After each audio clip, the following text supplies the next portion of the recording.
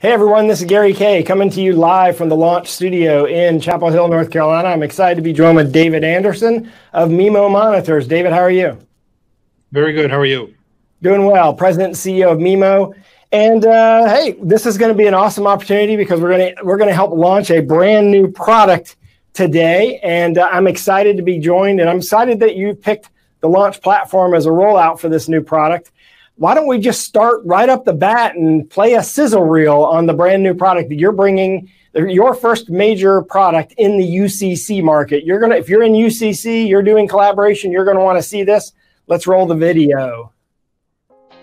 Traditional conference room setups don't empower the seamless connectivity, flexibility, and collaboration today's users need. Before today, AV over IP setups haven't been considered as an answer to this challenge. That's about to change. Introducing the sleek, durable, and reliable Mimo Myst Link, the first Ethernet connected conference room display with HDMI capture. The Myst Link connects over a single Ethernet cable, eliminating expensive traditional installation, expansive technical expertise, and the hassle for abundant cords, extenders, and hubs. The solution is flexible enough for use anywhere and is recognized by PCs as a regular display, maximizing space without multiplying complexity. It utilizes a touch display specifically tailored for conferencing, features a multi-touch capacitive touchscreen, and offers integrated HDMI capture to boost productivity. The solution's Cat5e connection to the main PC includes power and doesn't consume HDMI. The Myst Link complies with Microsoft and Zoom specifications and includes support for low power modes with auto wake up a high-end, low-profile design combined with desktop and wall mounting capabilities and enterprise-level reliability testing mean the Myst Link is ready to elevate your space from day one. Empowered connection. Reimagine your conference room. Uh, I don't. I think that everyone's going to love this product. I think it's going to be hot. Uh, first off, I want to right up the front. You want to connect with David on LinkedIn. If you're in the UCC market, you're going to want to connect with David on LinkedIn. Scan that QR code. All you have to do is hold up your phone's camera to that QR code. It'll find him on LinkedIn. Of course, if you want to connect with me, you can do the same thing. Uh, David, congratulations on a great product. I'm really excited that you're debuting it here on the launch platform. So let's uh, let's first talk about uh, why AV. Well, I should back up in just a second. Let let him go ahead and go to that next slide. But I want to I want to point something out. I'm here in the launch studio on your screen in front of you, if you want to post questions to either one of us, just do it on the right side. On the right side of the screen, you'll see the Q&A. Below the screen, you're going to see networking. This is where you can talk to each other, but you can also uh, ask me questions. I'm on the networking. I'm on networking as well. If you just post a question in there, I'm going to see it. I might look down every once in a while because I'm looking at networking. I'm looking at Q&A, and I'm looking at you as well, David. So let's first, right off the bat, let's talk about why AV over IP. You, Mimo is a leader in touchscreen display technology.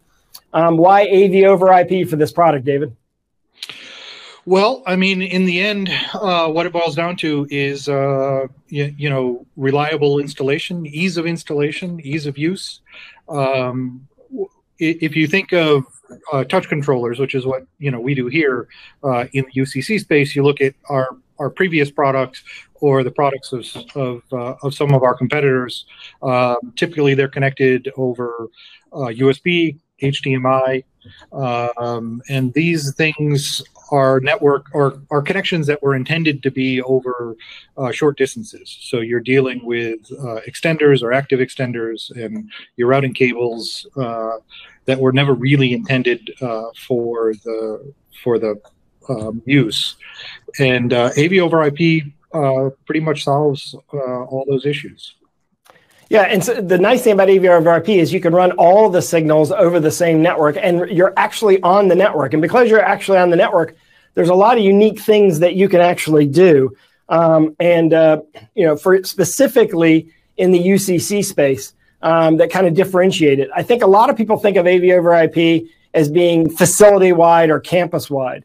But the fact that with AV over IP, not only can you run any signal bidirectionally through an AV over IP platform, right? Video, audio control, uh, the network itself, but you can also power it. And that's a key component, right? The fact that you have really simplified the application for this. In fact, I, I don't even know if there is another uh, um, tabletop touchscreen display in the UCC space that doesn't require more than one cable. Yours only going to require one cable. All you're going to need is that that AV over IP connection because you're running power across it. No separate power wall wart or anything like that. No worry about power routing in the in the in the tabletop. This is pretty innovative. This is gonna this is gonna get set a new bar as far as those go. What do you, uh, do you agree with that, David? Yeah, I mean it's. Uh you, know, we we started our life with USB, and and uh, and we liked our uh, you know single cable for touch uh, video and and power. Um, in the UCC space, it doesn't really work, especially because you're you're using some more power hungry sort of applications.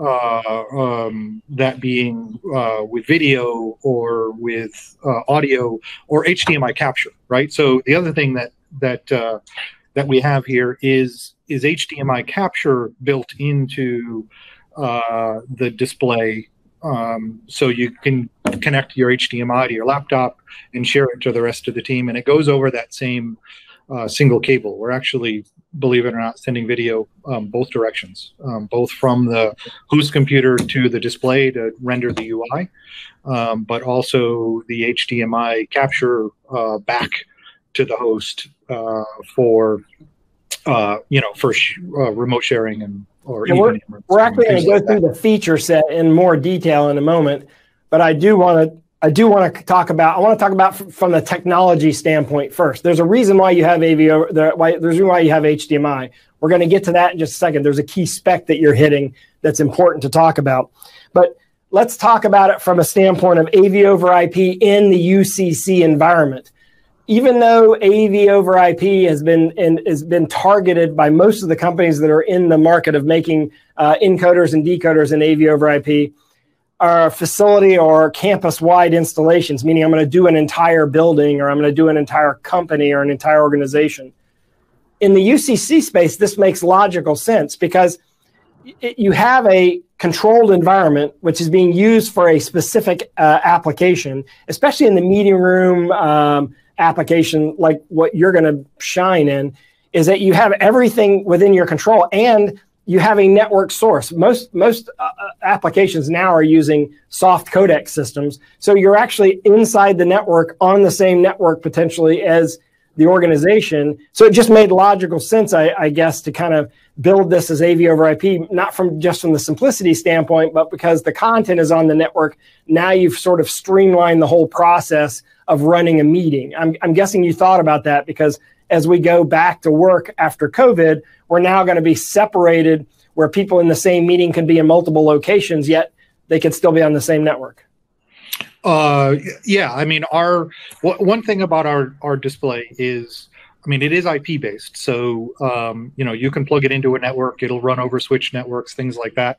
Um, it also runs as the direct connect, right? So if you want to take advantage of the single cable, the power, the you know ubiquitous cabling, the reliable connection, but you don't want uh, all the extra data running over your network, uh, you can do that as well. You can take um, uh, our two our two boxes and and uh, plug them together um, directly, and uh, and then there's no there's no data traffic uh, on the network. It's really up to the end user what they prefer. Yeah, well, again, we'll talk about the individual features for the product in, in just a moment. Um, let's talk about a cost comparison. I think there's naturally a thought process that AV over IP is more expensive than sort of the way that systems are being built now. But but the way that you did this and the fact that you're using AV over IP, ironically, does exactly the opposite.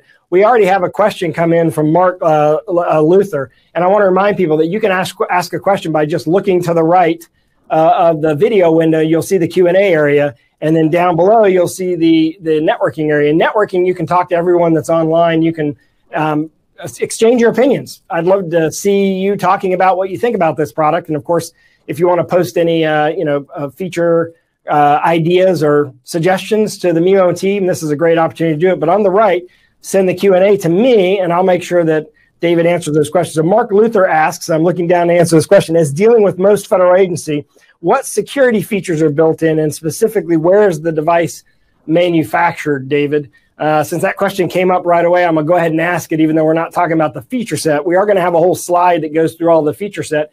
But uh, he is he is concerned from a security standpoint simply because of the new rules and regulations with regard to you know where things are manufactured and the security issues surrounding that. David, what do you what do you how do you uh, answer that question? Yeah, so our Mimo's um, factory is uh, in Korea, so it's manufactured in in South Korea, which is a trade compliant uh, country, so no issues from that perspective. Um, from a uh, security perspective, the best answer I can give to that is the is is don't connect it to your network. Connect our two boxes together, um, and then there is no way anybody can hack it. And then what is connected to the room PC is an HD, or excuse me, is a USB connection, and uh, you know no security concerns at all. Yep, yeah, and we're we're talking about uh, the next issue I want to talk about is sort of a cost comparison, um, and uh, there are you know there are other products out there that do uh, that have touchscreen. There's companies that have touchscreen, one touch, um, join a meeting. Uh, yours is quite different in the sense that you have the ability most of them don't have the ability to be teams or zoom or whatever you want it to be right? I mean you have team zoom meet whatever platform you want you can build a room with this.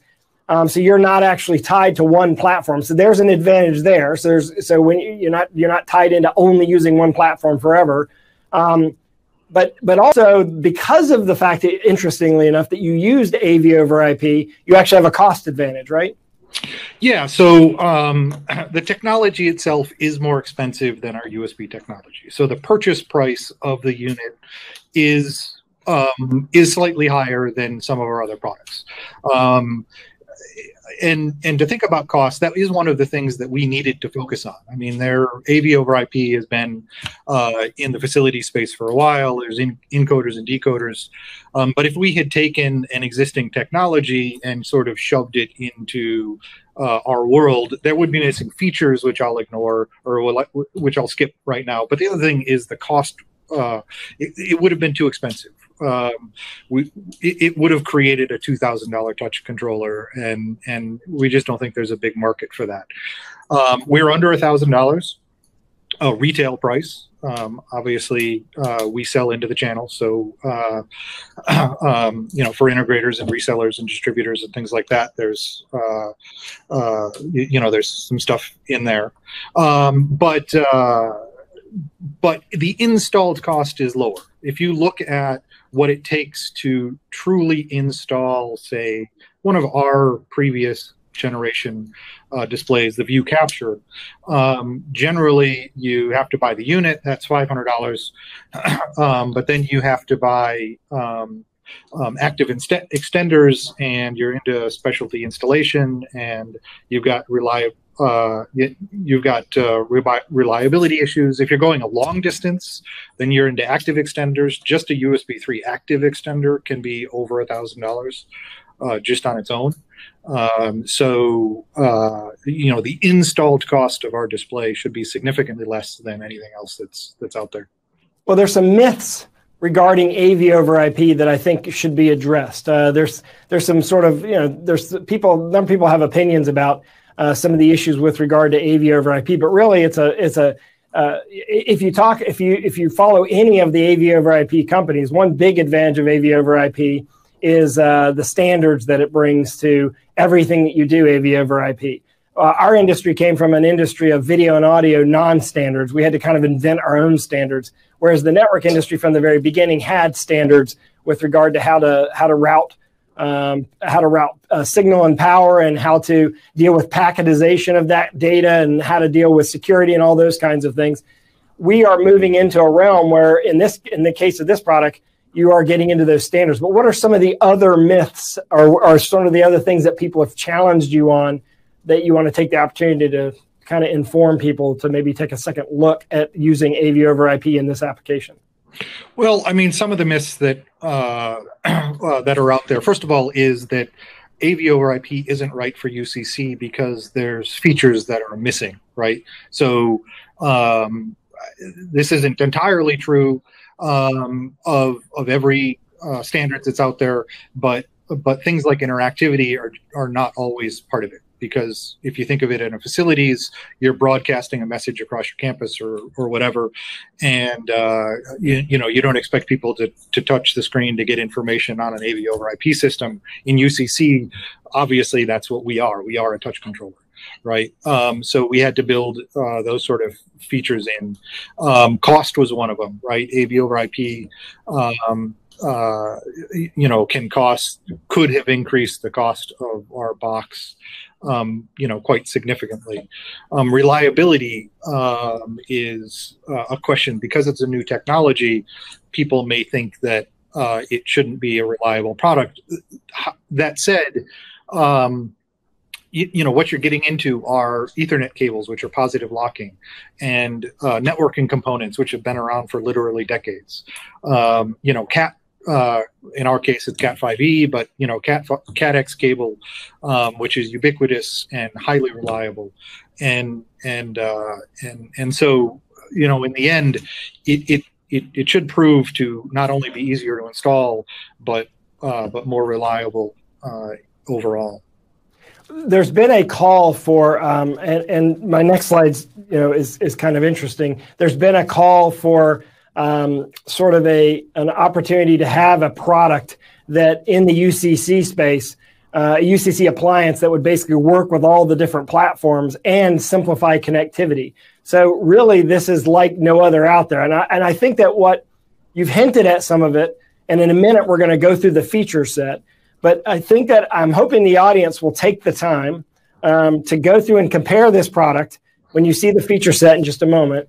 Compare that to the other products that are out there. And some of the other products that are out there are, are easily recognizable and identifiable um, if you just stop and think about the big two or three companies that are in that space of building one touch controllers. Um, and of course, some people even use the iPad right? So so the iPad, the issue with the iPads are are totally different issues. It's an it's an easy interface, but there's there's a, he- a heavy duty amount of issues with with the iPad. That's just sort of a backup. But we have a an industry with some big companies in there that are building single touch touchscreen controllers for rooms. They don't have single uh, connector uh, flexibility. They are not AV over IP. You're also limited in the fact that it's a single use application ultimately when you set it up. Uh, they're not they're not necessarily all compatible with the different. Uh, they're not all necessarily certified with the different room systems out there you're going to provide everyone a single platform that they can order from and and then get compatibility with all the different UCC platforms.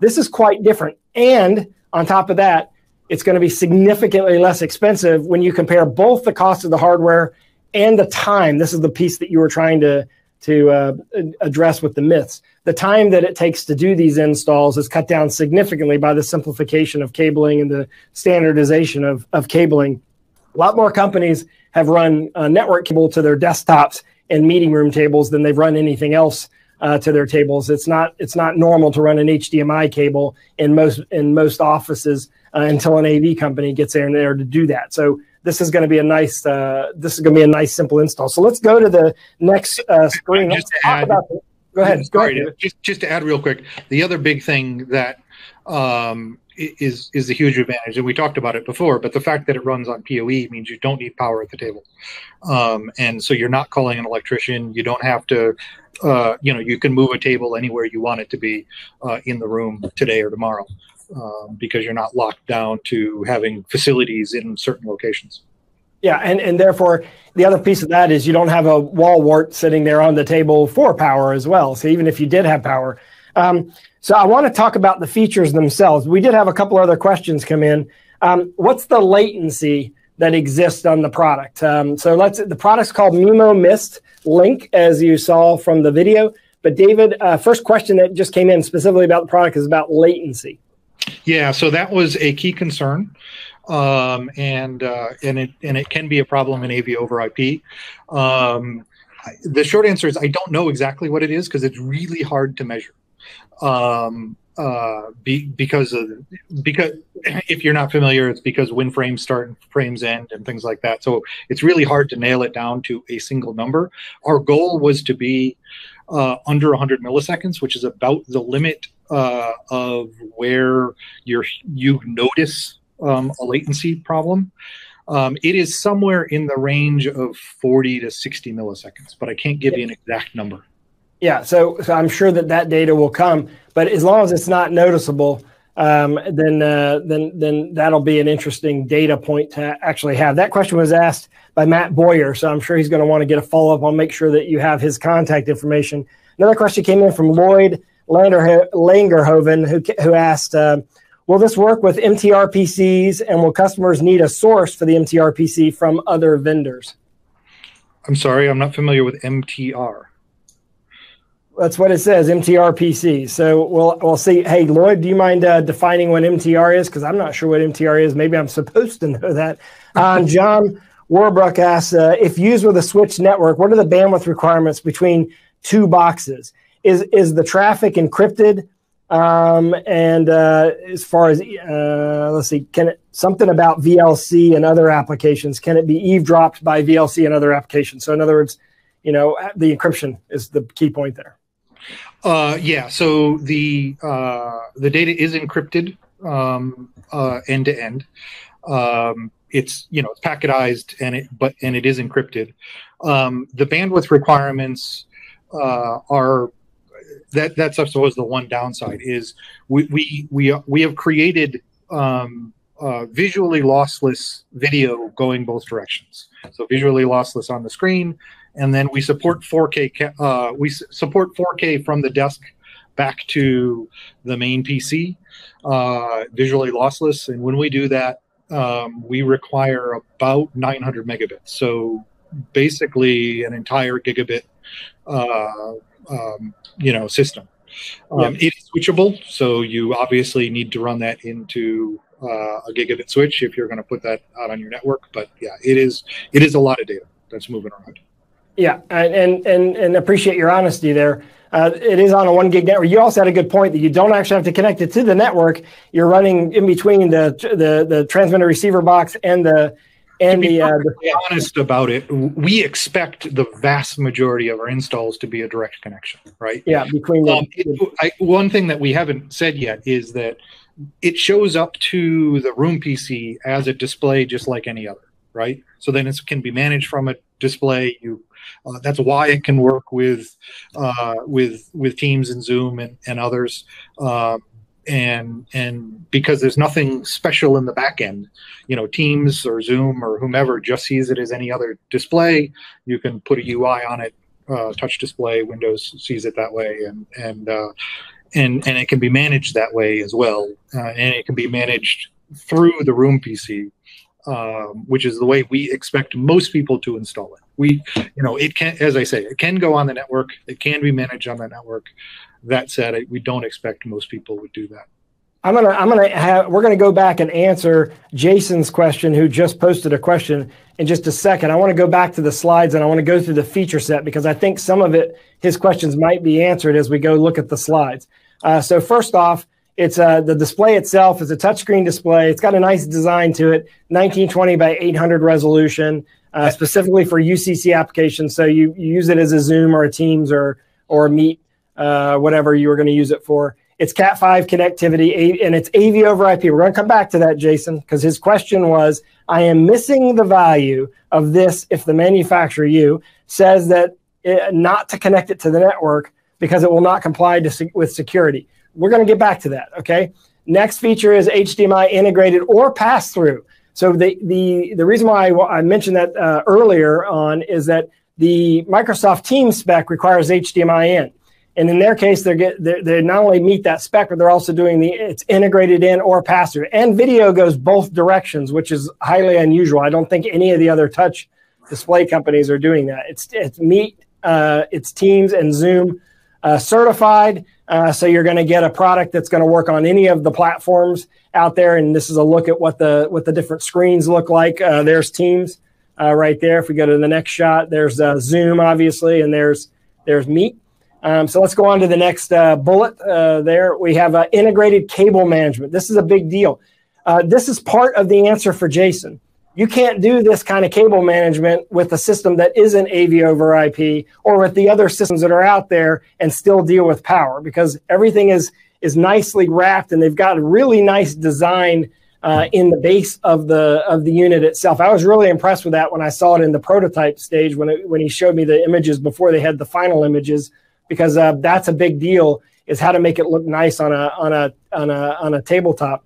So I'm going to ask you, uh, David, to address that, and of course PoE connectivity uh, as well. If you if you decide to connect to the network, um, or or it'll drive directly from the from its own uh, encoder decoder uh, it'll be powered PoE as well. So you don't actually have it have, have to have it connected to the network. So Jason asks that question, David, why PoE or why AV over IP? Why bother? Like, what's the advantage of this if you can't put it on a network itself? Um, well, let's be clear. You can put it on a network, but um, but if you, but as I say, I don't expect most people will do that. So why AV over IP? The it, it boils down to um, uh, flexibility and uh, an ease of installation at that point, right? So you've got a single Cat X cable. Um, you know, every IT guy in the world knows how to install such a thing. They can install it at exactly the length they need. If you look at some of the stuff that is out there today, you've got uh, USB and extenders and that and HDMI, and you can buy your maybe you need a uh, an 18 foot run, but you have to buy a 25 foot uh, cable, so you got to coil HDMI cables up somewhere. You got to hide all that kind of stuff. Um, whereas, you know, Cat five, you can make any length uh, you want. It's ubiquitous. It's probably already at your table, uh, making uh, installation easy. Uh, no power required. Uh, well, no power at the table. Obviously, the display itself needs power, but we can send it, uh, you know, down the down the cable, uh, and and and uh, and so it's just it's it's just a simple uh, system to to install, uh, and only a single cable. You don't get into a mess of extenders and and things like that. Yeah, I think that the answer to that question is if you're an integrator, uh, Jason, if you're an integrator doing a lot of these systems, then you see the, the, the hassle that you have to go through with all of the connectivity issues. And the simplification of install, I think, is appreciated by that group of, uh, of, of, people. Not everyone's going to right away recognize the value of putting it all on one cable uh, until you're doing 300 of these rooms over the course of one month or even 20 rooms in one building. And you have to deal with uh, the cable management differently for every single room. Um, so I think that that is it's really it comes down to his answer comes down to simplicity. It's we're, we're, we're simplifying the whole install process. That is not as noticeable on the front end as a feature. A lot of time that gets noticed on the back end from the integrator standpoint, not on the front end to the customer, uh, because the customer just looks at as the, the, you know the features and and the benefits and the workflow side of things. But that's a great question. I appreciate you posting that. We are. I'm going to go back to the MT, uh, MTRPC question because it's Microsoft Teams. So uh, I didn't realize that that's what it was. It was referring to Microsoft Teams room. So M, uh, and that's what that's what the reference was. So I'm going to read the question again, David. The question okay. was, will this work with Microsoft Teams Room PCs, and will customers need to source the Microsoft Teams uh, Room PC from other vendors, or are you going to have? I guess if it does and it require and it has that, are you going to offer that as an option along with your product?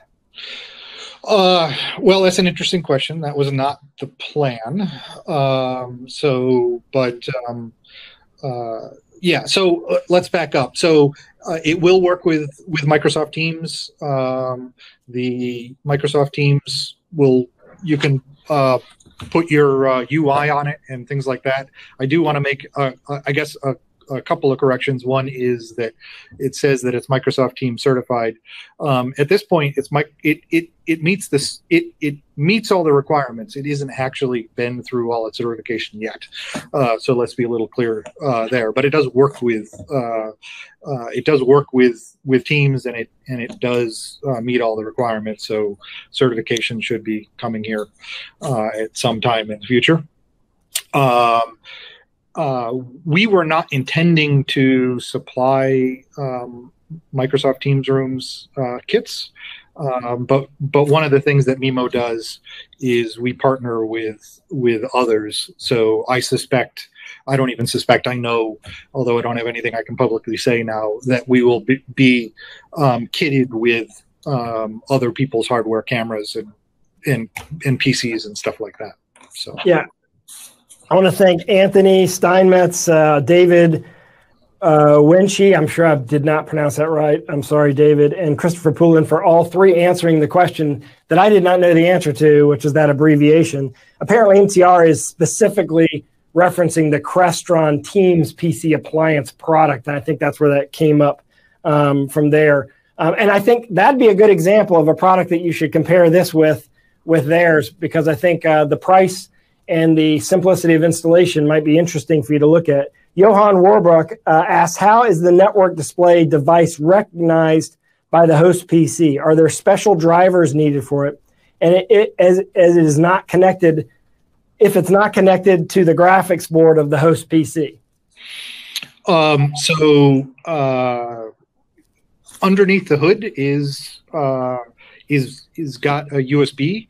Um, so the connection, in fact, I, I have one here connected yeah, to the laptop. There it is right there. So this is connected to my laptop, which is the only connection. There's power uh, for this box, which generates the power and does the encoding for the other side, and then the Cat5 cable uh, on the other side. Cat5 so, is what's going to the, that's the Cat5 going to the display. Yep. And and then the other side is where power is coming in. That's your transmitter, receiver, encoder, decoder product, basically. Yeah. Uh, yeah, it's a little. It.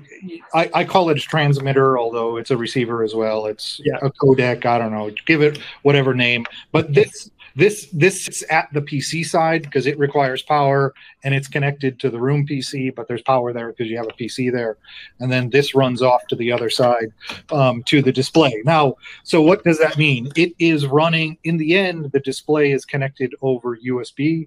Um, if you're familiar with the industry, you're familiar with DisplayLink, um, yeah. which is what the technology is built on top of. No, there isn't a single thing in our uh, in our product that requires a specialized driver. So DisplayLink drivers are built into Windows. Everything else, the touch is HID compliant. Uh, we've got sensors in there; they're HID compliant. Uh, there's audio in there that's uh, UVC, or excuse me, UAC, USB uh, audio class. Uh, the the capture um, becomes UVC, U, USB video class, and UAC. Um, so uh, one thing that Mimo does not want to be is in the driver business.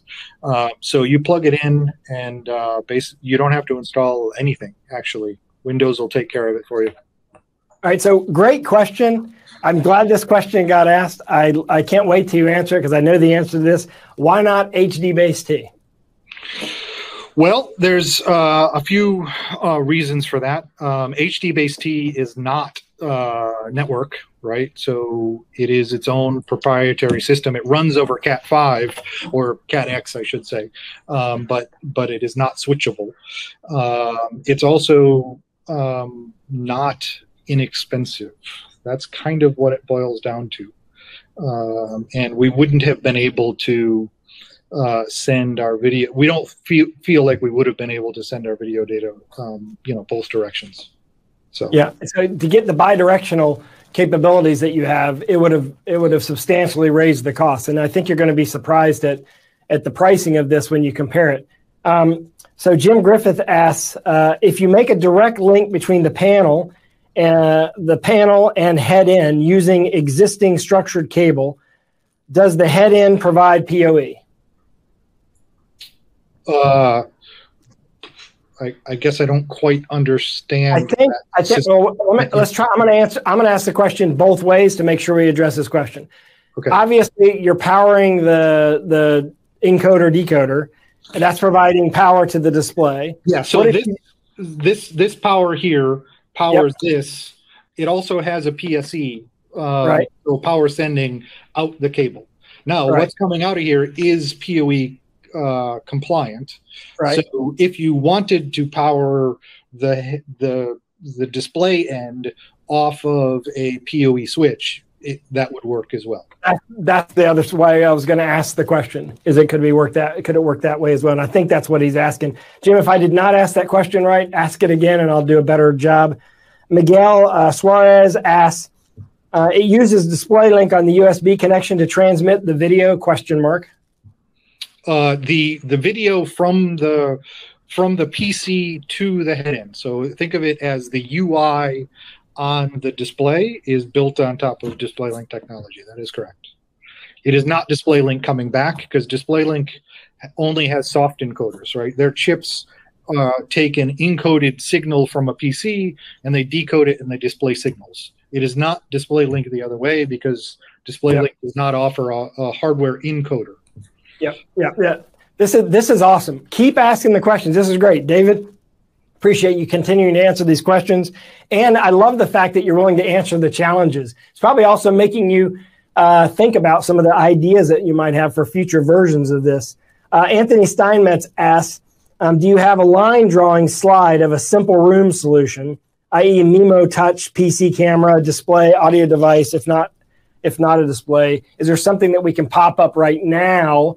Um, I don't have anything. I don't. I don't have anything. But is there a place on your website where you might have yeah, that? So if, if, right you go, if, you go, to our website um, and you find the Mimo Myst, uh, it's in. It's under products. It's one of the drop downs. Actually, the first thing that's in there is a uh, interactive graphic, which kind of shows you the difference uh, between a sort of traditional installation and our installation. Yeah, MimoMonitors.com. Uh, check out, click on products. I think it's actually highlighted on your home page as well, if I remember correctly. Um, the next question came in from uh, uh, Jason Jaworski, who asked, "This looks like uh, it will work great with the Utelogy platform." I think it's more of a comment. I don't know if you know much about Utelogy's control platform, but it's a it's a it's a network-based, cloud-based platform. David, have you have you talked to Utelogy and you familiar oh, yeah, with I know, I, I know Utelogy. They buy a bunch of our stuff. Well, they don't, but their customers buy a bunch of our stuff. Um, it would work uh, with uh, Utelogy, um, mm-hmm. uh, although they buy mostly our Android-based um, stuff uh, as mm-hmm. well. So it's it's either way, um, but it but we will definitely be working with Utelogy. Okay, another question came in from AVI Trainer. Who, hey, AVI Trainer, I know who you are. Uh, says, why not uh, why not use the uh, SMPTE standard like uh, 2110, NDI, SDVoE, or Dante AV. Uh, why not use one of those AV over IP standards rather than rather than doing your own or using you know your own one gig? Uh, I mean, the short answer is because nobody.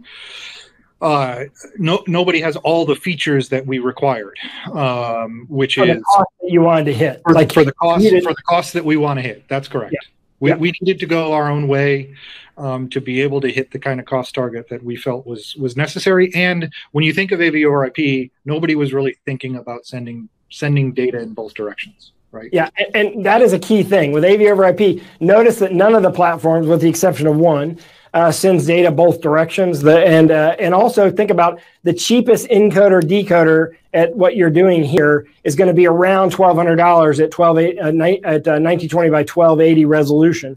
So that in itself, just the encoder portion of that would have jacked the price of, of, of this up considerably. So you built like a closed loop AV using AV over IP, but then still made it network compatible and broke the price barrier. Speaking of the price barrier uh, David, what is this going to cost for everything? So um, you know, it comes configured only one way, and our our MSRP is nine ninety nine. So nine hundred ninety nine dollars. See, there's the big reveal. So for nine, compare that to the two that are popping in your mind right now, who do touchscreen one touch controllers on the table, and consider the fact that the cable management that they have, consider the fact that it's not networkable, it's not PoE, it's not AV over IP. I think that that's a pretty uh, awesome price point because you've you're doing encoding and decoding. You're sending HDMI both directions. You're sending data both directions. Uh, I think that's the piece that's going to surprise people. So nine ninety nine to do a touch controller for a room. I'd love to see the comments on that. Um, do you think? Next question that came in is um, um, do you think, from Lloyd Langhoven again, do you think it would be interesting uh, in collaboration in collaborating with someone like Crestron to offer custom room control and buttons for the touch panel as well as UCC dialing controls separately from from the interface itself? Have you thought about maybe um, partnering with any of the control vendors to do something like that? We uh, we do a lot of collaboration. Um, we're I think it's kind of part of the industry that we, you know, we have people that we work with. If if people who know Mimo, you know that Google has been a partner of ours for a while. You know that the touch controller in the Meet kits, both of them are are Mimo controllers. Uh, we work with others that are we're um, behind the, uh, you know, underneath, and you don't necessarily know it's us. Um, Crestron today is not one of them. We have had multiple conversations with Crestron, but just never been able to to find the right uh, the right thing. Um, but yeah, I mean, we're uh, we're willing to work with all comers. And remember that they all, they're also third party companies and people building all sorts of drivers. Real quickly, a driver for this to Crestron will will appear. Um, one of the uh, the next question that came in was about Mac compatibility. I was going to actually ask that question myself. We talked a lot about PC. We keep saying PC, keep saying PC, but confirm Mac compatibility if you want to use that as the room PC. Um, we we actually have yet not yet tried it, mm-hmm. um, but having said that, there should be no reason why it wouldn't work. Right? Yeah, I mean um, they're basically Mac, integrating Mac DisplayPort as well. Mac supports um, UVC, UAC. Mac supports DisplayLink um, Mac supports well, touch control is uh, lacking in in Mac, uh, but there's drivers to solve that problem. So I don't think there's any reason why it shouldn't work. Yeah, and the new OS, as you all probably have heard from Apple, they're adding uh, bidirectional uh, touch through the USB port uh, in the new update. So that's going to come any any any week now theoretically. So that that'll bring them back up, I think, in the touch side of things. Um, is there a motion sensor in the monitor to wake it up uh, when somebody walks in the room um, or uh, you know somehow to okay there you go answers right there. There you go motion sensor. What is that other port? Is that a is that a, uh, a so these, these are the, these are uh, the high frequency audio for zoom requirements. Okay. So they're i mean they're they're speakers um, yep. but it's it's they do the i the room id uh, through there's stereo speakers, so they're on each side, and this is uh, the human presence sensor, right? That so everything can go to sleep, and then this can wake up the the room PC. Uh, can the presence sensor also be uh, used for IoT applications? Like, uh, could you could you then expand it and have it tell you how many people are in a room or how often it's being used or something like that? Well, so uh, I guess that becomes a software question, which isn't really our thing. Um, we we wouldn't be able to tell you how many people are in a room. We can tell you if it's occupied. Our our presence sensor isn't just a um, a PIR motion sensor. It will it will also detect um, uh, sustained excuse me sustained presence. Um, uh, but but that's that's sort of on the software side. It's capable. Okay. Is there an operating system on the display, or is it kind of a dumb display? I'd like to think that it's not a dumb display. Well, you know what I mean by that, but yeah. yeah, yeah, yeah. Uh, no, it is not uh, running Android or or anything like that. Uh, yeah. It, all the technology is is uh, you know buried in in the in the two boxes, and uh, and and in the end it's just a regular display to to the system and it sees a bunch of usb connected devices as if you were connected directly over usb yeah and i'll use the uh, politically correct term which is purpose built um, so yeah, there, uh, there is a there is a separate microcontroller in it, so um, we can add, we can extend its capabilities uh, to um, uh, to to do additional things, um, but there's no operating system now. Um, another question came in as website states resolution is 1280 by 700. Res- yeah. Website states resolution is 1200 by 800. 1280, 1280 by 800. Your slide, unfortunately, was incorrect. I should, I should. It's, so the slide, so it's 1200 by 800 or 1280 by 800? 1280 by 800. Okay. I, 16, by 10, 16 by 10 aspect ratio, 1280 by 800. Okay. Um, and then uh, let's see, does it support HDCP? I don't know why it would need uh, to support So uh, the UI the side, the UI side does. The yeah. HDMI side, the capture side does not because we can't.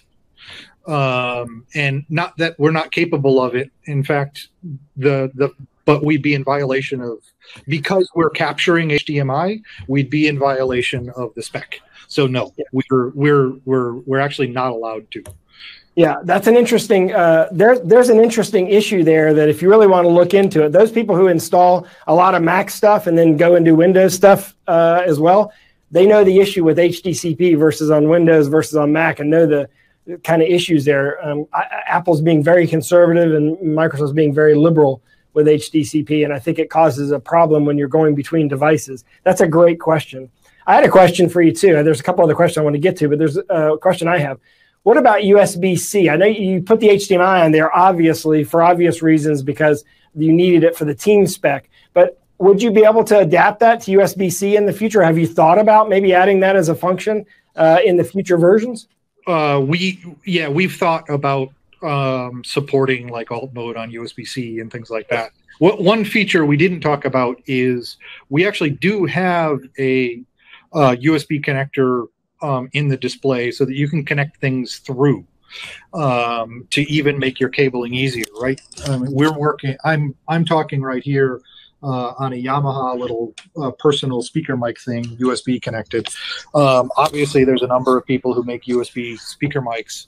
Uh, you can connect that through our display. Um, it'll the USB will get converted. It'll show up on the uh, room PC as as any other uh, okay. USB connected thing to to make, and we can supply power um, to it, so it makes your room installation even easier. Yeah, that's uh, a you literally need a single. You can have your speaker mic connected through our display, uh, then a single cable back to uh, back to where the PC is. So going back to that question of why not HDBaseT, there's a great example of it. That would have been a bit harder to do on HDBaseT to maintain all the different USB devices that you would want to put in there. Andrew Starks asks, um, if not, uh, when do you plan to support Mac? His question was, you know, they, they need to obviously, uh, you know, um, just do the field testing. It's a brand. This is literally a brand new product. I can tell you that when he and I had the discussion about this two weeks ago, he didn't have a product to show me yet because the products that they had were all in uh, QC and and going through engineering testing and things like that. So um, I can understand why, and I appreciate your honesty on the on not having tested all the functionality with with uh, Mac. And of course, you have obviously now the next step is to go through getting certification from each of the platforms for room certification, which you ultimately you know you're going to pass, but you have to go. It's it's kind of like you know it's kind of like just the process you have to go through when you buy a new car. You have to get it inspected every year. You, same kind of thing here. You've got to go through that process. Um, so you're you're confident. What about the other platforms out there? I mean, I know we we focused on Zoom, we focused on Teams, we focused on Meet, which are three of the big ones. But what about BlueJeans rooms and uh, and now Pexip rooms? Pexip rooms are becoming uh, more po- uh, power, um, more uh, more popular. So platform flexibility. What about platform flexibility in the future, David? So I, I will uh, preface my answer with I'm not familiar with BlueJeans requirements or Pexip requirements, so I can't say absolutely specifically. But again, the way we architected it is it's just to display.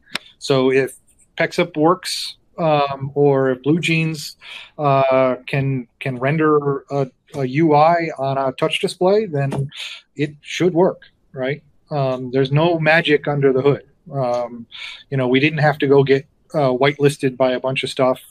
Um, in fact, uh, the first uh, place we tried um, our display is with Meet um, because we, because of our relationship with Google and uh, and you, we just plugged it into uh, an existing Meet kit, and and it just worked. I mean, literally did nothing. Um, it recognized everything. It it put its UI on it. Um, the capture card worked. Literally, there was nothing to do. It just it just it just came out of the box working. Um, and so I suspect that should work with BlueJeans and others, but but I, I can't say specifically. Well, David, I appreciate your honesty. I appreciate the. Uh, this has been great. Uh, first off, we love it when people are willing to, companies are willing to come and introduce their products uh, on our platform, bring it to our members of uh, launch.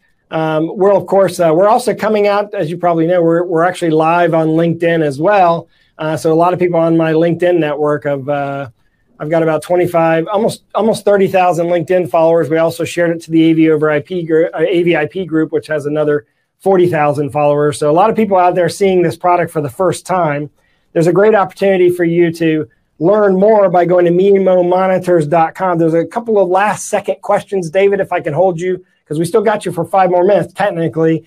Uh, Chrome OS. What About- I, I, was I was late, so uh, you, can, go over. Well, we did have a connectivity issue with the audio, but what about Chrome OS? Uh, yeah, Chrome uh, uh, Meet is built on Chrome, so yeah, uh, it works like a charm. Excellent. That's good. Um, and then uh, and he said, "Well, I just got my answer." He went to the website, so your information on the website is helping him out, and uh, things are things are going well. Um, Mimo uh, Mimo is an interesting company. I've I've been following Mimo for a while because of your relationship with uh, some of the distribu- distribution you've been doing, and I've been impressed. One thing to talk about that should be brought up kind of globally because you mentioned it kind of in passing, but I think it's a big point is that you've been you've you've been supporting the channel, the AV AV uh, channel for many years. You didn't come from consumer touch POS displays and say, oh, by the way, we're going to support Pro AV, even though you have that technology you've been a big supporter of AV of the AV industry and the the distribution channel that we have. So this is not like a product that you uh, have sold through uh, consumer distribution, and you recognize the support of the AV channel. So let's recognize that support and let's support Mimo. Give them a shot because although you may not have, you know, maybe you don't know Mimo and haven't used them before because maybe you're not in digital signage. If you were in digital signage, you would know them, or maybe you haven't been in the applications where you've needed touch displays and and and or you purchased the touch displays from the brand from the manufacturer of the monitor itself uh, and not realize that there's you know there are third party companies out there that can can give you a better experience but in this case here's uh, david and his company bringing you a finished product specifically for a market that is one of the hottest markets in the industry and as we go back to work this idea of simplifying rooms and the ability to buy one. He said it himself. One SKU, you it ships to you, and you decide how you're going to use it. You decide how you're going to deploy it, which kind of room, plug it in, and it is true plug and play. Uh, support them, give them a shot. So if you're not already a dealer for for Mimo, go to mimomonitors.com, check it out. But also check out the new product, the Myst and the Myst Link product specifically. Um, we we gave you a teaser video on there. All that data is all go, everything, all the specs, everything we've talked about today is on their website. And of course, now we've kind of built a, uh, a FAQ for you that you might want to put on there as well. Uh, Joe Perez uh, asks a quick uh, question: Is there a management or administrator software package for enterprise rollouts? Are there license requirements? cost per year, that kind of thing. So let's, say they want to deploy 50 or 100 at a time. How would you suggest they do that? Um, yeah. So uh, right now we do not have uh, that back end um, software uh, to to manage a hundred of them. The way they would be managed at that point is via the Room PC. So that would be a direct connect, um, and then uh, software updates and firmware updates and things like that can all be updated over USB. And you'd use the the management you'd use the management built into to Windows or Teams or or Meet or or those kinds of things. So. Okay, so the answer to that, I guess, Joe, is if you're using Zoom, you'd use Zoom, uh, the the room management software, the cloud software that you log into to ra- manage all the systems. So I guess part of that would be, I guess part of that answer is obvious because to meet the specs of each of those systems, you have to have a way to update them uh, to meet the specs. So that would that would be centralized uh, control, ultimate or management ultimately. Uh, yeah, uh, but every every bit of firmware uh, in the display is updatable uh, over its USB link, and then other simple things like we can cycle power internally. We got controllers to do that. Um, so um, but that's all done through the existing interfaces from uh, from Zoom or others. That question, by the way, came across LinkedIn Live. He's not even in the, the platform. He's actually watching on LinkedIn Live. Thank you, Joe. Uh, Waynard Langhoven asked the question. This is a great question. I, am not. I didn't even think of this one myself. Do you have an open frame version of the product, or a product that can be mounted in a lectern or inside of a table, or in a, or on a wall, or something like that? Have you thought about that? Um, I shall say there's no reason why we couldn't build such a thing, but no, we don't have that today. Okay, so I guess the the the the the, the issue, Lane, Wayne, uh, Waynard, if you are getting ready to buy Waynard, sorry, if you're getting ready to buy hundreds, I'm sure David would love to talk to you because he would build you an open frame version of it. We know, we know how to bend a little bit of metal and mount mount some boards to it, but no, we don't have that today. The cool thing is there's a lot of third party companies out there that specialize in that, and I bet if you went to Peerless, they would do something for you. Uh, uh, from the product that they current from the product that David's going to ship. But at least, hey, they got to start somewhere. This is their first product like this, so let's let's uh, let's just give them a little bit of a break for not thinking out everything. But I'll, I'll tell you, you, you can't think of every kind of scenario you're going to need or how people are going to want to use this product from the very beginning. But I'm excited about the product. I'm excited to be able to bring this to you, David. Thank you very much for being here today. I want to thank all of our launch members for joining us on the launch platform. I want to follow, I thank all of my LinkedIn followers for following me on LinkedIn. If you have not followed David yet on LinkedIn, just open up the camera app on your phone, scan that QR code right now, follow David on LinkedIn, and then challenge him. Keep asking him these questions. I know David answers his LinkedIn messages because I actually get messages. I, I ask him questions across LinkedIn before. So I, I want you to contact him on LinkedIn and give him some product ideas. Tell him, hey, you should add this or this functionality, or you should look at this partner out there because uh, obviously the market is evolving constantly. And I think this product has um, interesting implications outside of UCC. I could see this product becoming a control interface for a bigger room uh, if uh, someone like Utelogy or uh, you know some of these other software-based platforms got a hold of this, David. So I'm sure that's what's going to end up happening. David, thank you very much for doing this. Thank you for having me. Thank you. And uh, don't, don't forget, MimoMonitors.com. I want to thank everyone for joining us. Have a great day.